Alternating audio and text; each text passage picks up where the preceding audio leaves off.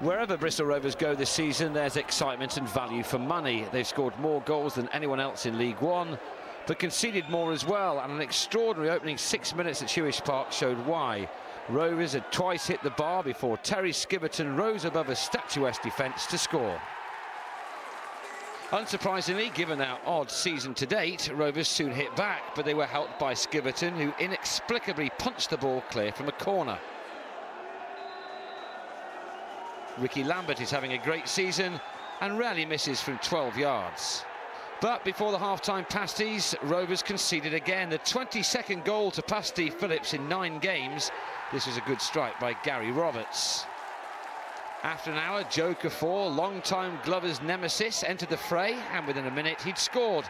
We've had four games at home, unfortunately. We've not won one. I mean, that's the secret. So maybe we are something missing because we haven't won a, a football match. But in terms of entertainment and work ethic, I mean, I think we've been great value.